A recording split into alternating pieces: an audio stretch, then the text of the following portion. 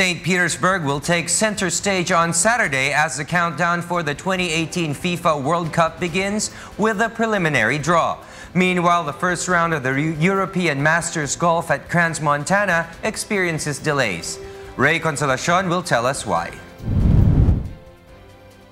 France's Gregory Havret shot a 7 under 63 at Crans-Montana on Thursday, July 23 to lead the European Masters by two strokes after the first round. Play at the spectacular Alpine course was delayed by thick fog early in the morning. Havret produced an eagle at the par 4 7th hole and a hole-in-one at the par 3 13th hole to add to his four birdies with just one bogey. Denmark's Lasse Jensen is second with a 6 under 64. The Dane produced a clean round with 6 birdies late in the day. Behind him came 12 players sharing second place with a 5 under 65. They included Danny Willett, fresh from the British Open, who shot an eagle at the 14th, and another Briton, Tyrrell Hatton, who shot a remarkable 9 birdies with 1 bogey, but then ended with a triple bogey to drag down his score. Meanwhile, Russian President Vladimir Putin and FIFA's President Sepp Blatter will put aside their troubles when they take center stage and begin the countdown to the 2018 World Cup on Saturday. A worldwide TV audience of around 100 million people and 170 countries will watch as the two men open proceedings at the draw for the qualifying round of the competition, which has involved 206 of FIFA's 209 member nations. Security at the Constantine Palace, some some 35 kilometers or 20 miles outside St. Petersburg will be redoubled. For the first time, including host Russia, all 209 FIFA members entered the World Cup.